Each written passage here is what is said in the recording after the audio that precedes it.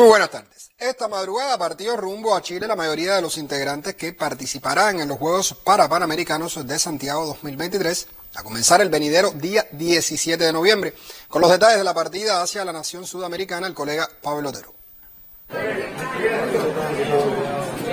Al filo de las 5 de la madrugada de hoy viajó rumbo a Santiago de Chile la delegación cubana que competirá en los venideros Juegos para Panamericanos que darán inicio el día 17 del presente mes en las mismas instalaciones de la capital chilena que acaban de acoger los Juegos Panamericanos. El grupo de Cuba está integrado por 53 paratletas que participarán en 10 deportes de los 17 convocados para esta cita continental. Aunque de esos 53 paratletas, hoy viajaron 49, porque los cuatro tiradores lo harán el próximo día 12. Como ya se conoce, los campeones paralímpicos Omar Durán y Robiel Yanquiel Sol serán nuestros abanderados en la ceremonia de apertura. Nuestra delegación viaja a los Juegos Parapanamericanos con el compromiso de ganar alrededor de 13 medallas de oro, la misma cifra de Lima 2019, y un poco más de 30 preseas en el total. Pavel Otero, Canal Cubano de Noticias. Por otra parte, el penúltimo grupo de la delegación cubana que participó en los Juegos Panamericanos, pues arribó esta madrugada al Aeropuerto Internacional José Martí. La delegación estuvo compuesta por 170 personas de diferentes disciplinas. La medallista de plata en los 1500 metros, Daily Cooper, habló en representación de los atletas y ratificó el orgullo de competir con dignidad y compromiso con el pueblo que tanto lo siguió y alentó. Según reporta el periodista Osbel Benítez Polo, para la madrugada de este martes está planificada la llegada de la última parte de la delegación que representó al pueblo cubano. Por cierto, al recibir a la delegación, el vicepresidente primero del INDE, Raúl Fornés Valenciano, catalogó de verdaderos campeones del esfuerzo y el amor a la patria. Independientemente de las necesidades, independientemente de todo lo que hemos vivido en estos últimos tiempos, pues tiene un futuro asegurado, un futuro, un futuro garantizado en ustedes. Por lo tanto, siéntanse todos con el deber cumplido, siéntanse, por supuesto, agradecidos no solo de lo que han hecho, sino también de haber logrado que nuestro pueblo haya vivido y se sienta orgulloso de ustedes. Por lo tanto, felicidades y bienvenidos a la patria. Y con la finalización de la cita multideportiva se impone siempre un análisis. A nadie le quepa dudas, Cuba estuvo nuevamente entre lo mejor del continente.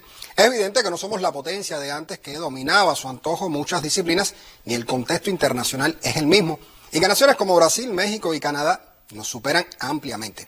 Incluso diría que algunas que quedaron por debajo muestran hoy una mejor progresión. Sin embargo, es indispensable valorar en su justa medida lo alcanzado. Cuba supera aún a muchos países con más recursos y por ende una mejor infraestructura y con una mayor población donde es más fácil nutrirse de talentos. El deporte antillano sufre también la crisis económica que vive el país, así como la migratoria. Son realidades que no se pueden obviar.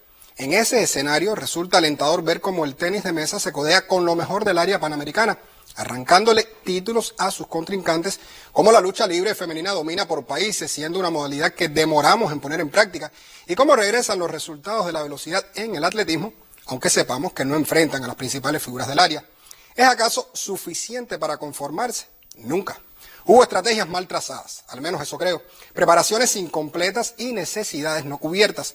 Los deportes colectivos mostraron su peor cara sin medalla alguna y otros individuales como la esgrima, el taekwondo, la gimnasia o el remo no se acercan a los éxitos de antaño.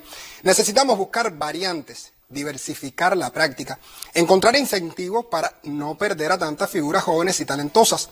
Como mismo aportamos técnicos a otras naciones, podríamos abrirnos a la sapiencia de algunos extranjeros.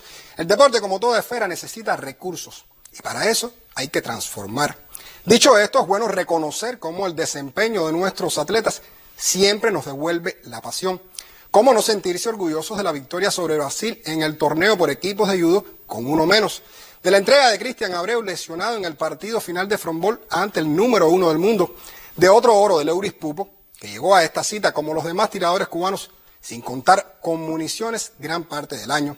También de aquellos que lo dieron todo, pero no pudieron con la calidad de sus rivales. Y es que eso es el deporte, no es una ciencia exacta. Son muchos poquitos, disímiles factores que influyen en un resultado. Cuba vivió días de mucho orgullo, pero también de nostalgia. No esperemos que de la noche a la mañana podamos reeditar el poderío de antes. Es casi imposible. Eso sí, podemos y debemos trabajar por no perder más espacios, revitalizar una esfera que se precia de ser una conquista de años. Solo así estaríamos siendo consecuentes con lo que nos regalaron nuestros deportistas una vez más. Así yo me despido. Buenas tardes.